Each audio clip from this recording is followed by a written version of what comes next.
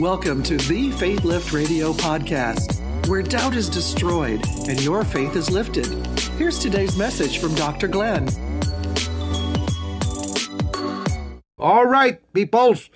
Let's pray. Father, we want to thank you for the word of God. Spirit of God, I'm asking today that you will think through my mind and that you will speak through my lips. Thank you for these, your wonderful people that got ears to hear, mind to understand, and heart to receive the word of the living God in the name of Jesus. Amen. All right. Now, let's go back to our foundational text, which was Psalm 72. Psalm 72 and verse 12. Psalm 72 and verse 12. And today, as we come to the end of the year and we're about to start a new year, we want to start it right. Of course, in the in the month of January, we will be fasting, glory to God, and praying. So this is why we're talking to you about the secrets of intercession. So Psalm 72 and verse 12, the Bible tells us, uh, For he shall deliver the needy, he will deliver the needy when he crieth, when he crieth. Amen. So it's up to the needy, to the one in need, to cry out to God. The poor also, and him that has no helper, that has no helper. We know that one of the title of the Holy Spirit is the helper. The Holy Spirit is our helper. So we can see that one of the help of the Holy Spirit is that He helps us to pray. Now, like I said to you yesterday, and I want to reiterate this, John Wesley said this many, many years ago God does nothing except in response to believing prayer. God does nothing uh, except in response to believing prayer. In a, another quote, he says, It seems that God will not do anything in the earth unless his people praise. Unless his people pray. Can you say amen? Praise God. Glory to be to God. Thank you, Lord Jesus. And yesterday we were talking about that one of the greatest secrets to getting things done in the earth is through what is known as intercession. Yesterday I gave you about seven points, seven or eight points on intercession. And today I'm going to give you again uh, seven or eight points on intercession. We're talking about the secrets of intercession. We defined to you what intercession was yesterday and so forth and so on. All right. We discovered if there's no voice, there'll be no victory. No voice, no victory. And if there is no voice, there is no path and no preparation for the Lord to bring victory into your life. John the Baptist, uh, uh, the, we were told in Luke chapter 11 that the disciple approached Jesus and said, uh, that disciple said, Lord, teach us to pray even as John taught his disciples to pray. All right? And when John was asked the question, Who are you? He said, I am a voice preparing the way for the Lord to make to make the crooked path straight. All right? So so no voice equals no path and no preparation, amen, for the Lord, amen, to bring victory into your life. Okie dokie. Now, let's open our biblicals, please, to the book of Psalms 109. Psalms 109 and then Acts chapter 6 and verse 4. I, we've got a lot of scriptures to, to run through today, and I'm going to give you, let's see, seven or eight points of the secrets of intercession. The secrets of intercession. All right. Psalms 109, and look at verse 4. Psalms 109, and look at verse 4. David says, For my love, they are my adversaries, but I give myself unto prayer. Did you hear that? I give myself unto prayer. Why don't you make a decision and a dedication to give yourself in the year ahead of you that you will give yourself to prayer? Now, the New Testament rendition of this is found in Acts chapter 6 and verse 4. So Psalms 109 and verse 4 For my love, they are my adversaries, but I give myself unto prayer. Put your hand in your heart and say with me, I give myself unto prayer. Acts in chapter 6 and verse 4 tells us, uh, but we, this is what the disciple says, the apostle said, we will give ourselves continually. And the word here is continually. We will give ourselves continually to prayer and to the ministry of the word. Notice that. So Psalms 109, verse 4, the equivalent of it is Acts chapter 6 and verse 4. Incidentally, Psalms 109 and verse 4, the Passion Translation, I love it, I love it, I love it. All right, I'm going to read to you from the Passion Translation. Though I love them, they stand accusing me like Satan for what I've never done. They stand accusing me like Satan. The King James uses the word, engages the word adversaries, but the Passion Translation goes like this Though I love them, they stand accusing me like Satan for what I've never done. Then he says this, where he says, I give myself unto prayer in the King James. The Passion Translation goes like this I will pray until I become prayer itself. My, my, my. I will pray. Whoop. Until I become prayer itself. Come on, put your hand on your heart and say this with me. I will pray until I become prayer itself. Can you say it again? Come on now. Uh, Psalms 109 and verse 4, the Passion Translation. Though I love them, they stand accusing me like Satan for what I have never done. I will pray until I become prayer itself. I will pray. Come on, put your hand in your heart. Put your hand in your heart and say with me, I will pray until I become prayer itself. Ladies and gentlemen, that is the place where you want to be. You pray until you become prayer itself. That is what it means to have a strong prayer life, to become prayer itself. Ain't that good? Praise God. Now, let's go to 1 Timothy chapter 2. 1 Timothy chapter 2 before before I give you the 7 to 8 secrets today. I told you we got a number of scriptures to look at. 1 Timothy chapter 2 verse 1. I exhort, this is Paul speaking, and he's about to give you four categories of prayers. All right, four levels, four types of prayers. I exhort, therefore, that first of all, supplications, which is the Greek word deesis, which means your personal needs. All right, that first of all, supplications, deesis, uh, prayers, that's your relational prayers, intercessions, glory to God, and giving of thanks be made for all men. Now, he's talking to a pastor He's talking to the church. He says, I exalt, therefore, that first of all, these are the four categories of prayer supplication, your own personal needs, prayers, that's your relational prayers, glory to God, intercessions, and giving of thanks. Four types of prayers be made for all men, for kings or for presidents, or for prime ministers, and for all that are in authority. Why do we have to have intercession and prayers?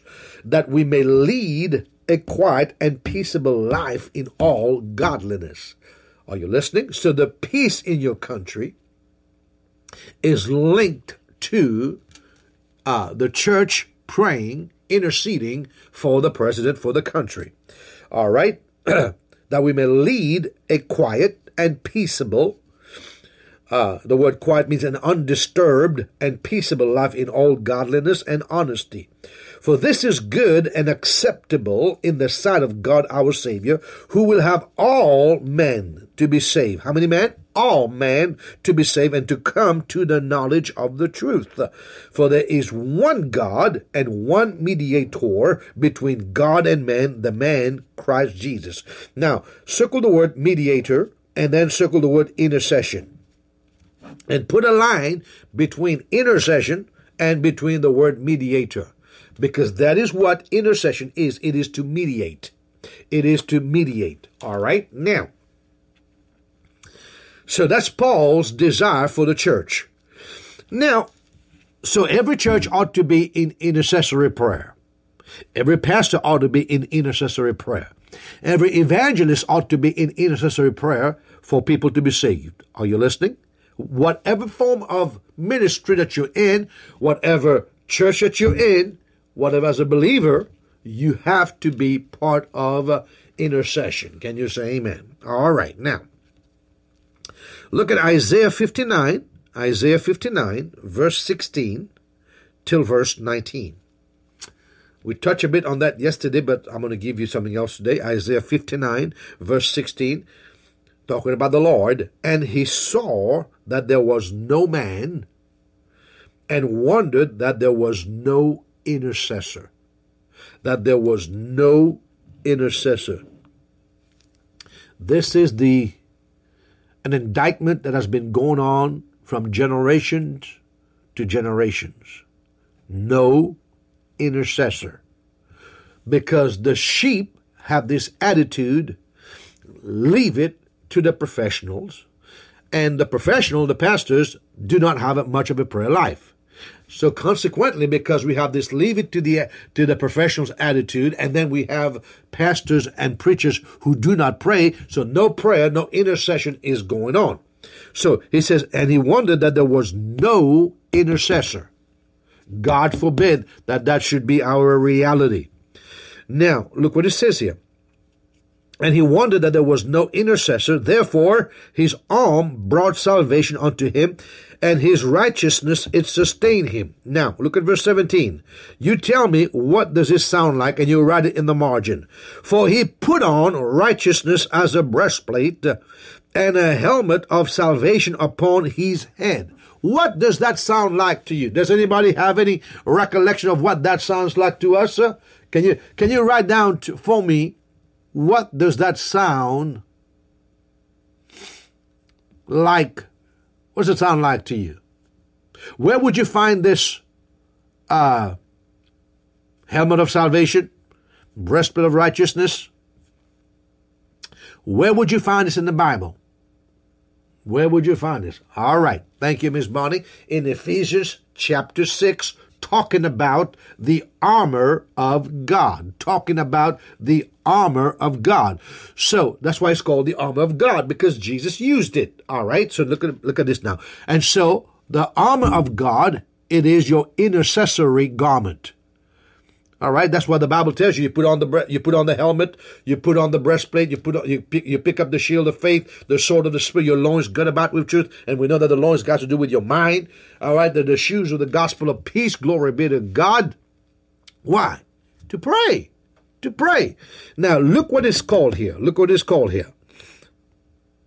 Verse 17, for he put on righteousness as a breastplate and a helmet of salvation upon his head, and he put on the garments of vengeance for clothing. So write this down, please. Uh, the armor of God is called the garments of vengeance.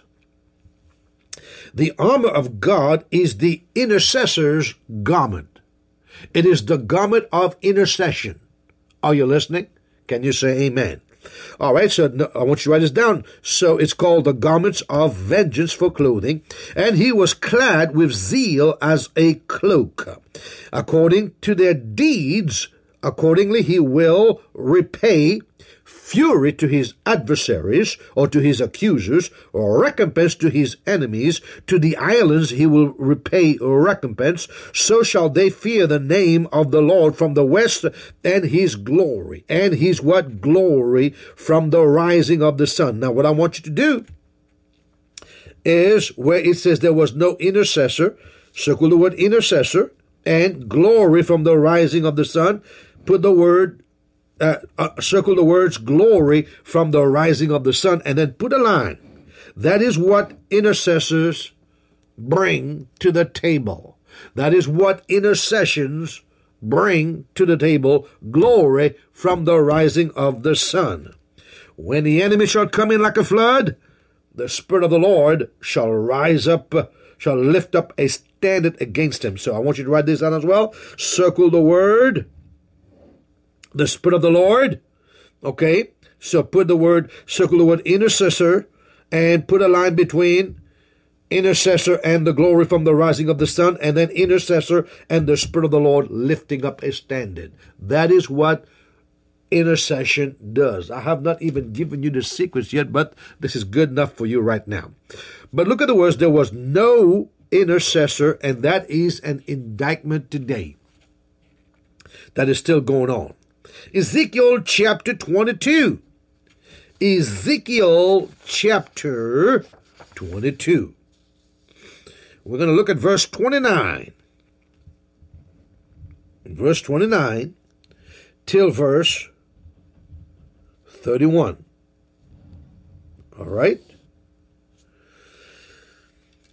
Ezekiel chapter 22 and verse 29. The people of the land have used oppression and exercised robbery and have vexed the poor and the needy. Yea, they have oppressed the stranger wrongfully.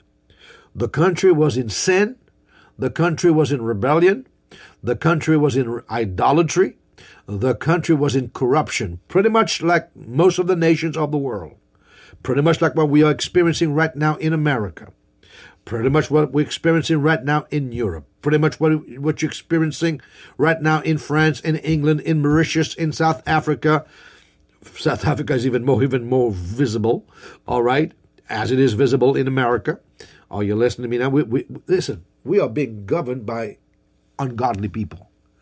We are being governed and run by people who do not believe in the absolutes of God's word. And you see it all over the world. We call that which is evil good, and we call that which is good evil.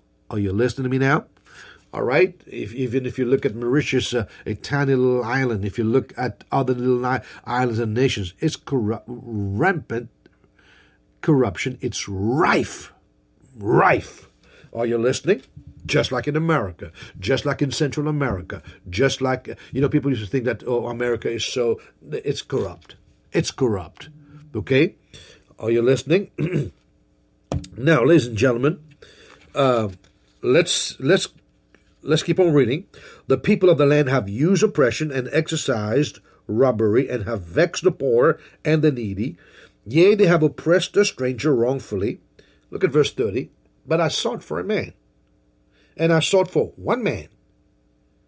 Remember, there was no intercessor. And I sought for one man among them that should make up the hedge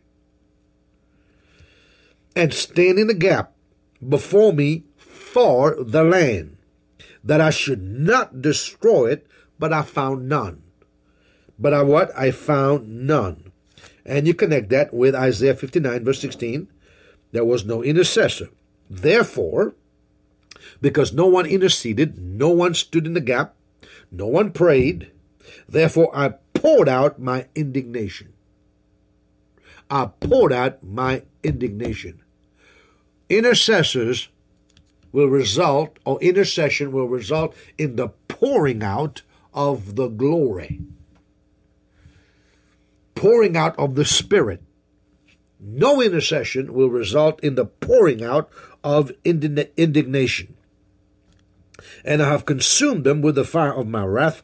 Their own way have I recompense upon their head, saith the Lord. Okay, now let's give you today eight secrets of intercession, part two. And I hope you got your pen and paper, and I hope you're ready. I'm going to try to go as quick as I can because I've got to do a mentorship uh, program right after this. Write this down, please. Write this down. Number one. Are you ready? Are you ready? If you're ready, say, I'm ready. Write it down. Say, I am ready. Say, I'm ready to rock. Amen. I am ready. Glory to God. Write this down, please. Number one, today. Intercession is the highest level of prayer. What? Intercession is the highest level of prayer. Why? For it is what Jesus is doing right now and what the Holy Ghost does. Let me say it again.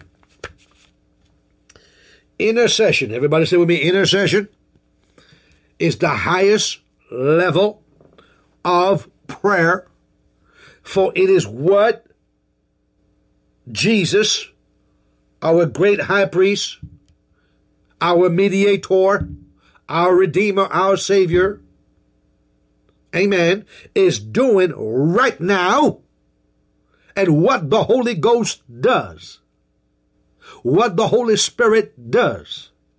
This is why I said to you yesterday that intercession is the highest form of the prayer of agreement because it is the intercessory prayers of our heavenly intercessor connecting with our earthly intercessor. If these two shall agree, and they do, it shall be done. Romans chapter 8 and verse 34. Romans chapter 8 and verse 34. Who is he that condemneth? It is Christ that died, yea, rather, that is risen again, who is even at the right hand of God, who also maketh intercession. What's Christ doing right now at the right hand of the Father? At the right hand of God, He is making intercession. Making intercession for us. Hebrews chapter 7 and verse 25, talking about the Lord, wherefore he is able also to save them to the uttermost that come unto God by him, seeing that he ever liveth to make intercession for them. The type of prayer that Jesus is engaging right now is intercession. First John chapter 2 and verse 1. First John chapter 2 and verse 1, please. All right. So you've got Romans 8:34, Hebrews 7:25, 1 John 2 verse 1. My little children, these things write I unto you, that you sin not. But if any man sin, we have an advocate, we have a parakletos, and an intercessor, a counselor, a helper with the Father, Jesus the righteous, and he is the propitiation, he is the appeasement for our sins. Intercession, appeasement. Intercession, appeasement.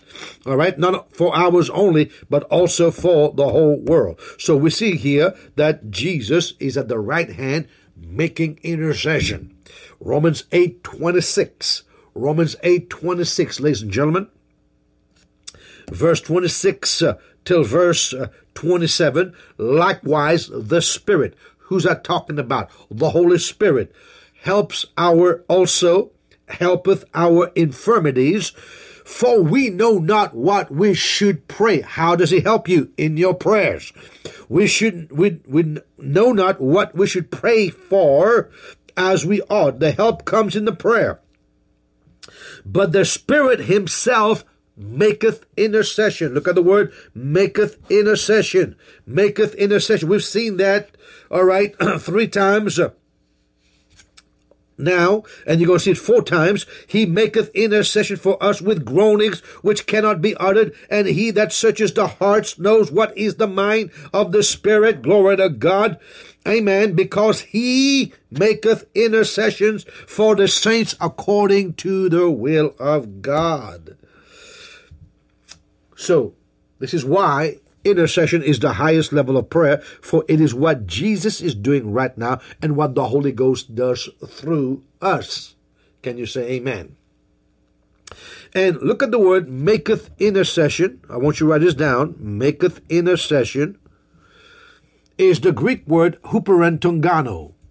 All right, it's the Greek word huperen, H U P E R E N, tungano, T U G K A N O O huperentungano, or T-U-G-A-N-O-O.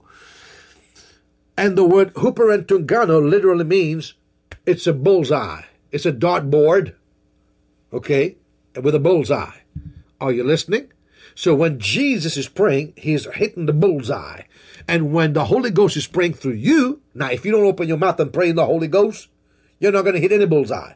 Are you listening? But the Holy Ghost prays through you. You're both hitting the bullseye and you get the exact goal. Can you say amen?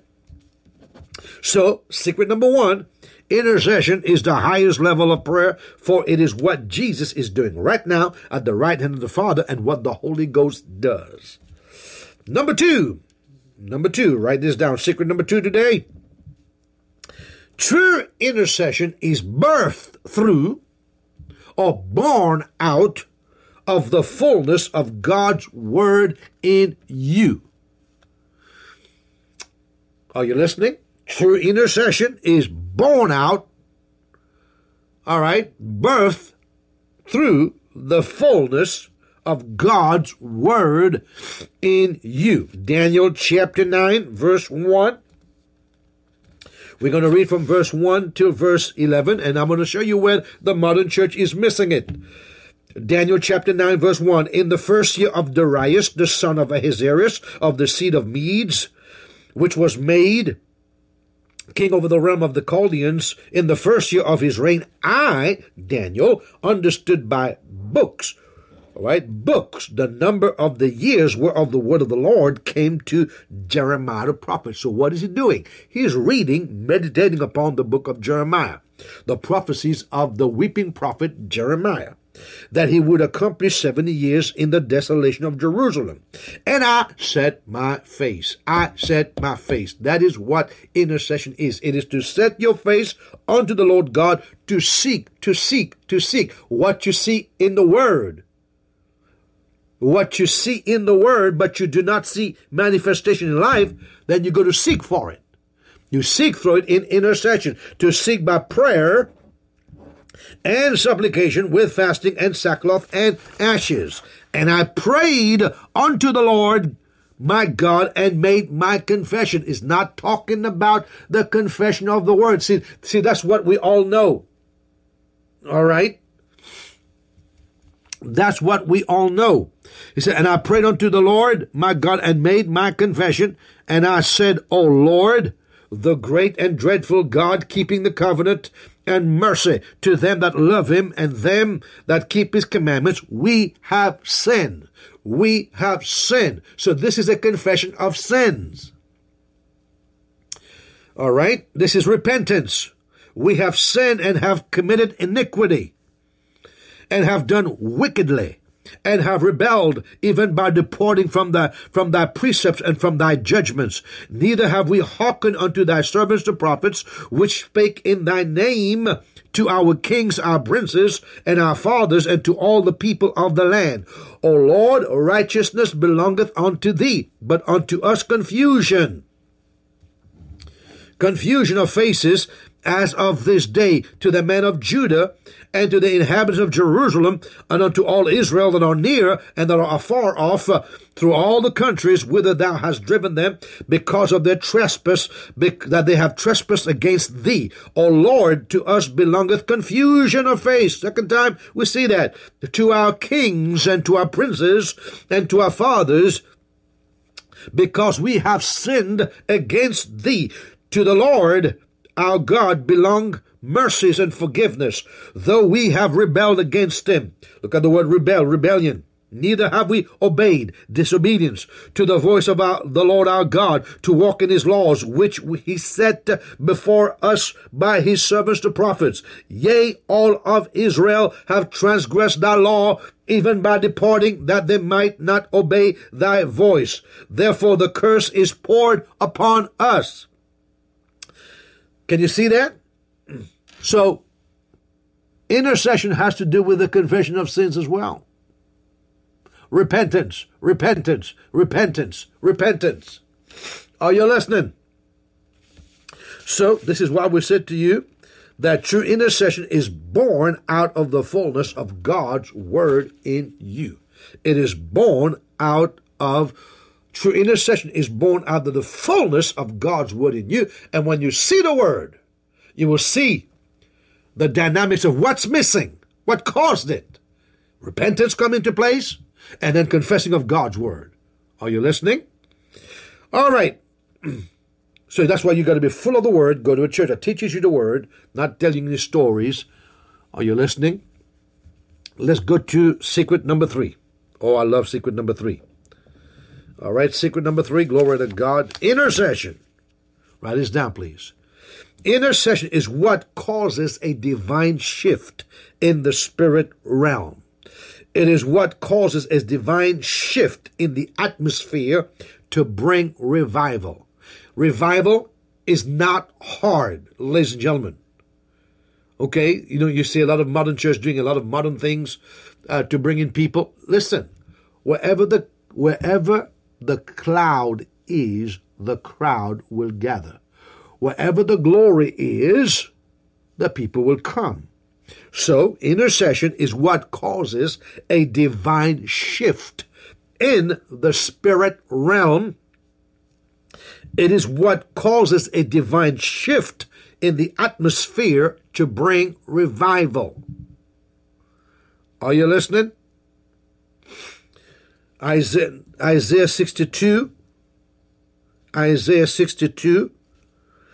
We're going to read verse 1, and then we're going to read verse 6 and 7.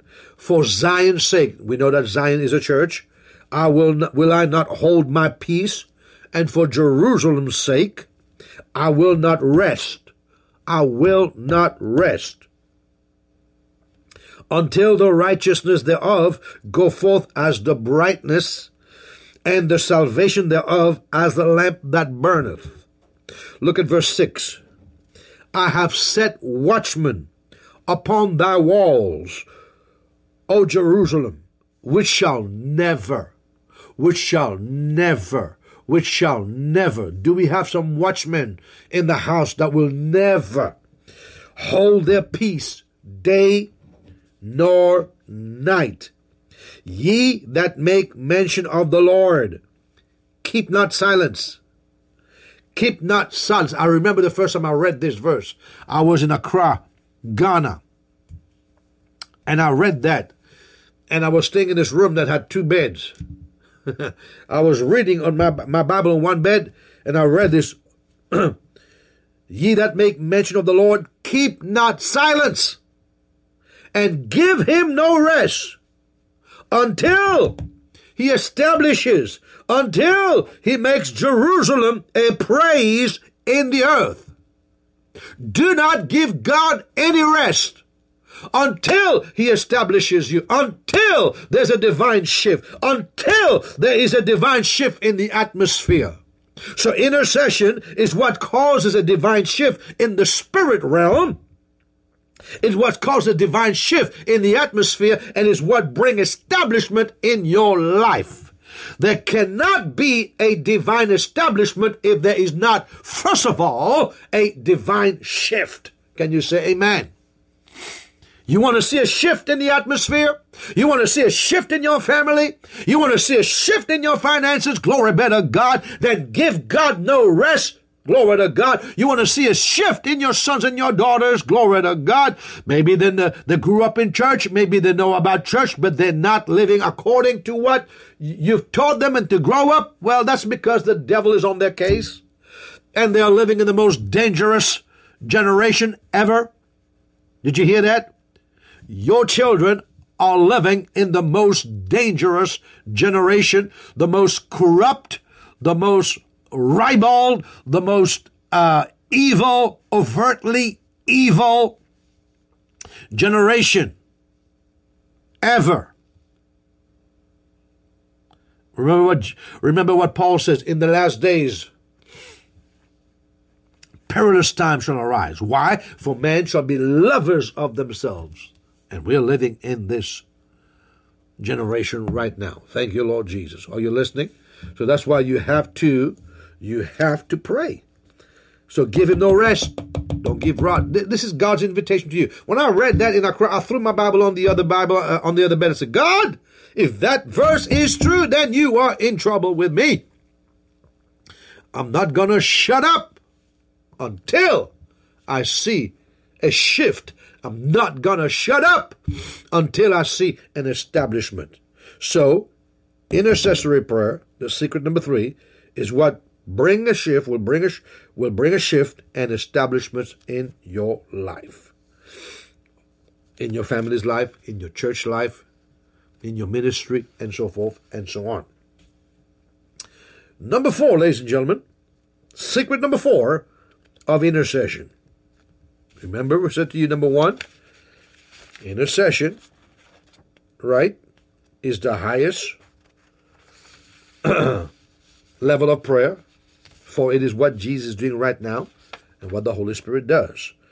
Secret number two true intercession is born out of the fullness of God's Word in you.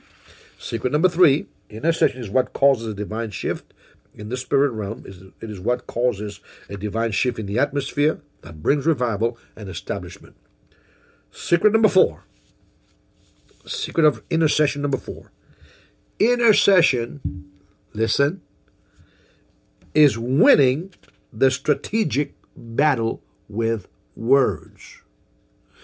Intercession is battle. Remember, we read in Isaiah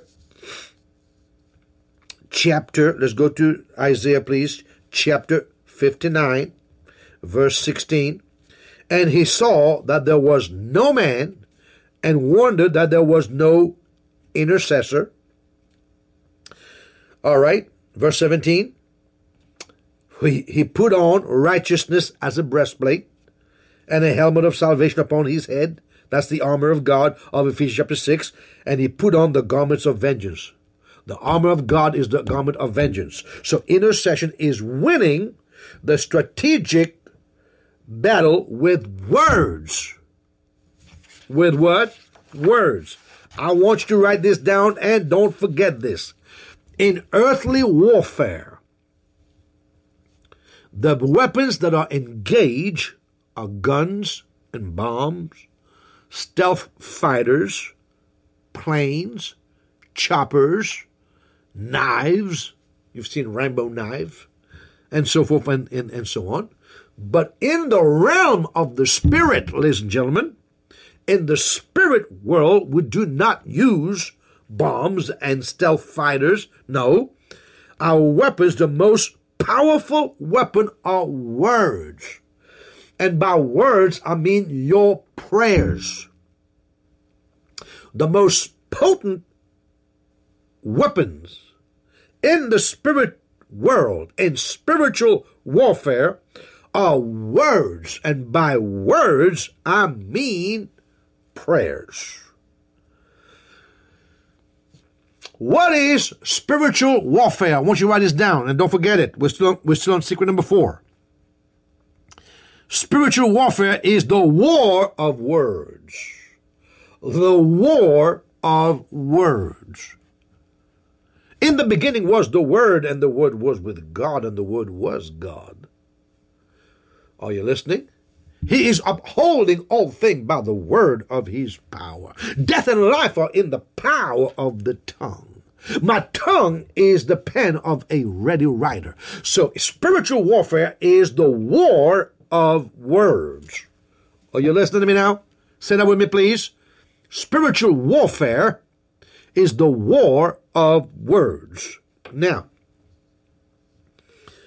David had a war of words before he, before he slew Goliath. Before David killed Goliath with his sword, he slew him with his words. As a matter of fact, you will notice that David had a war of words with his brothers. Remember that? We know your naughty heart. He had a war of words with the king and his elders. You, you, you're just a kid, man. You're just a kid. And this guy's a man of war from his youth. They didn't believe him. So he had a war of words with his brothers, a war of words with the king and his elders. Then he had a war of words with Goliath. Goliath came and disdained him. Am I a dog? That you come with me with stick and, and stones? This day I will feed your carcass to the birds of the air. Uh-uh. See, what did David do then? He began to fight back with words. That is what intercession is. Say that with me, please. Come on, say with me. Intercessory prayer is a war of words. It's a battle of words. That's secret number four. And that's why Jesus is called the first and the last, the Alpha and the Omega. He has the first word and he has the last word. He who, he who binds first, remember I talked to you about the strong man? He who binds first will always have the last word. Can you say amen? It's a war of words. Intercession is a war. It is winning the strategic battle with words. It is a war of words. If you do not understand the power of words, and prayer, when I mean words, I mean talking about prayers, you will not be very strong in intercession. Are you listening? Okay, which brings me to point number five. Why is it a battle of words? Secret number five. Are you ready? Write this down, please. Are you ready? The battle of words, born out of the Word of God. Okay? Intercession, ladies and gentlemen, is what empowers angels, recruit other angels, and strengthens angels to win the battle in the spirit world. What did he say? Open up. Open your ears, open your eyes, and let your jaw drop. Intercession is what empowers angels, recruit other angels, and strengthen angels to win. To win the battle in the spirit world.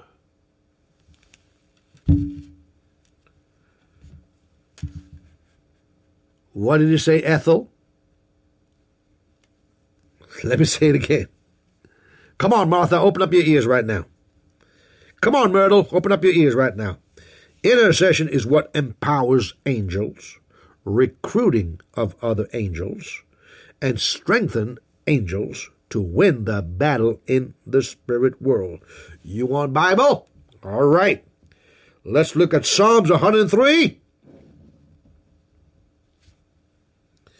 Psalms 103, please. Glory to God. Look in your Bible, please. Psalms 103. Thank you, my Father. Come on, say thank you, my Father. Glory be to God. We're going to read verse 20. We're going to read verse 20.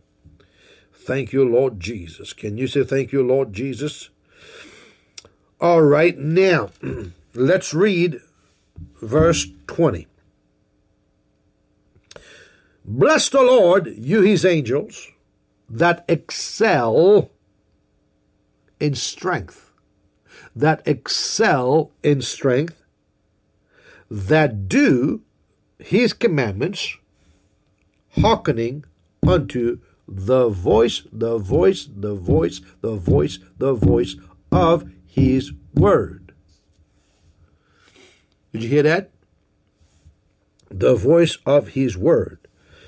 So angels excel in strength, they gather in strength, they increase in strength, they are fortified. When they hearken, when they hear the voicing of the word. The more you voice, the more you pray the word, the more you pray, the more you pray, the more you're strengthening your angel. Are you listening? The more you're equipping them you are empowering them and then you recruit other angels. What?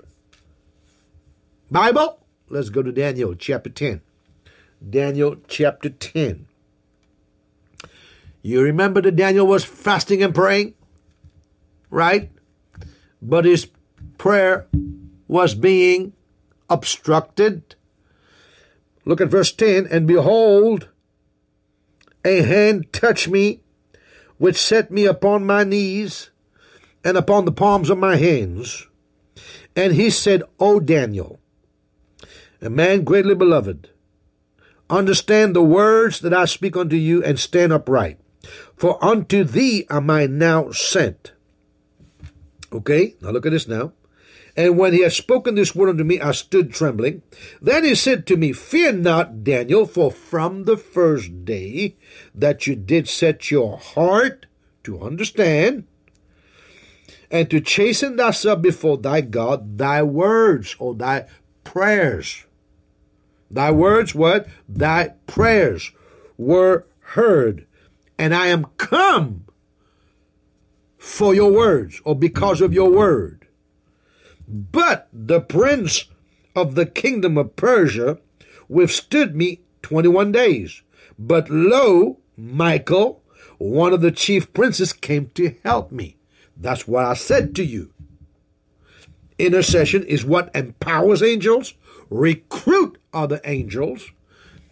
Daniel kept sticking with his prayer. Didn't budge, didn't change. See, some of you, you don't understand the power of sticking with prayer. Are you listening? Sticking with it. Staying with the prayer. Well, I didn't see anything. Daniel took him 21 days. Do you realize when Moses went to fast on 40 days? The Bible says on the seventh day, God spoke to him. My, my, my.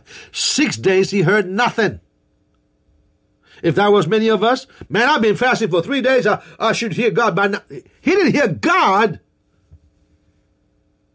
Are you listening? Until the seventh day. Are you listening to me now?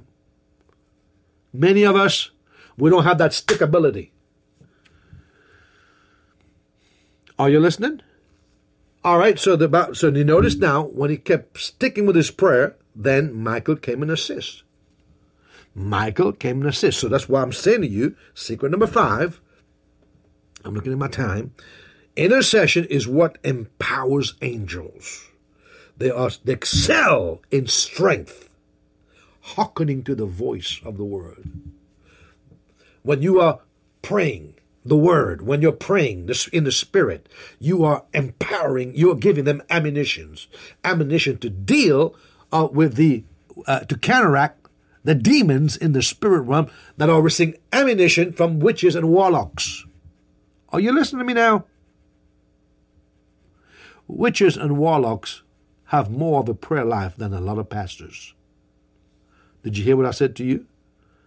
Witches and warlocks have more of a prayer life than a lot of pastors. It is said that the what is that, the Barna research? The Barna research says the average uh, pastors, listen to this now, the average pastors pray three minutes a day. Less than three minutes a day. Most don't even pray. Most do not even pray. Ladies and gentlemen, this is why our country is in a mess, our churches are in a mess, our families are in a mess, because we're not praying and interceding. Yeah, that's right. Three minutes, my, my, my. My, my, my. And you know why people don't like work, don't like to pray? You know why people don't like to pray? McGill says one minute for each meal, three minutes. That's about right, Bill. That's about right. That's in America, that's in Europe. Okay. The average pastor pray three minutes. My, my, my. Now, so, can you see now how prayer is the empowering of angels, recruiting other angels, and strengthening angels to win the battle in the spirit world? Now, you know why people don't like to pray? Because prayer is work. Ladies and gentlemen, prayer is work. See, you get to sit down in your comfy chair, in your, um, what do you call them chairs now? My mind's blank. In your La-Z-Boy all right? And lean back and begin to pray. Did you know for Abraham to pray, it was hard work because he had to go and build an altar. After building an altar, then get a blood sacrifice. Are you listening? It was work, people. By the time he finished building the altar and get that sacrifice done, he'll be wore out and tired. And then he prayed. Then he could bring his supplication before God. There will be the altar, the sacrifice, and the fire. Say that with me. The what? Building the altar. All right. The altar, the sacrifice, and the fire. Well, sometimes intercession feel like work. Sometimes intercession feel like work because you're building an altar. Sometimes intercession feel like a sacrifice. Sometimes it just feels like fire. But any which way, you need all three of them. that is correct, Miss Bonnie. We're praying in the La-Z-Boy, sleeping in the La-Z-Boy, no praying in the La-Z-Boy. Thank you, Jesus. I hope you got that. I hope you got that about that altar, sacrifice, fire.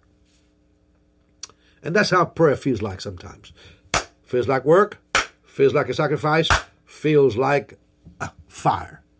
It's not always fire. Sometimes it's work, sometimes it's altar, sometimes it's sacrifice. Are you listening to me now? This is why. I mean, like yesterday, yesterday I was like, oh my God, do I have to wake up again in the morning? Do I have to? I went to bed about 3 o'clock. I said, uh, do I have to get up again at 5.55 a.m. to go and get ready for prayer for 6 a.m.? He said, and I said to Rosie, do we have to do it because it's the fef- festive, festive season? I thought, you know what? No, no, no, no. We're going to stick with our prayer. We're going to stick with our prayer. Yes, sometimes it feels like altar building. Yes, sometimes it feels like sacrifice. And yes, sometimes it feels like the fire. But we want, you can't get to the fire until you have the altar building, until you have the sacrifice. My time is running out. Quickly, please. Intercession is intervention. Intercession, secret number six, intercession is intervention. It is the averting of judgment. It is the averting of judgment. Okay? Ezekiel 22, verse 29. The people of the land have used oppression and exercised robbery, and have vexed the poor and the needy. Yea, they have oppressed a stranger wrongfully. But I sought for a man among them that should make up the hedge and stand in the gap before me for the land, that I should not destroy, but I found none. Therefore I poured out my indignation. Well, are you listening? So, intercession is intervention, it is averting of judgment. Because of time, real quickly, please. Secret number seven intercession is true power with God. Intercession is authority and power with God. With God. With God. Never mind dominating the world. I'm talking about you need to have authority and power with God, like Moses did, like Elijah did. Are you listening to me now? Like James, camel knees did, like Paul had power and authority with God. That is what intercession gives you. It gives you power and authority with God. God, you can't do this. You can't do this. Genesis chapter 32, chapter 32, verse 24, please. Thank you, Lord. And Jacob was left alone, and there wrestled a man with him until the breaking of the day. and when he saw that he prevailed not against him, he touched the hollow of his thigh, and the hollow of Jacob's thigh was out of joint, and he wrestled with him. You notice that? He wrestled with him. And he said, Let me go, for the day breaketh. And he said, I will not let you go, except you bless me. And he said to him, What is your name? He said, My name is Jacob. He said, Thy name shall be called no more Jacob, but Israel, which means a prince ruling with God. For as a prince, you now have power with God and with man. You got to have power with God to have power with man, and you have prevailed. Intercessory prayer is power with God. See, a lot of people have a prayer life. Uh, a lot of people can say a prayer, but they don't have a prayer life. A lot of people can what? Say a prayer, but they do not have a prayer life. What's the difference? I'll explain that next week to you. okay? All right. Secret number eight, quickly, please. What is intercession? Secret number eight intercession is outlasting the enemy. It is not giving him the last word or the last touch. Thanks for listening to this episode of the Faithlift Radio podcast.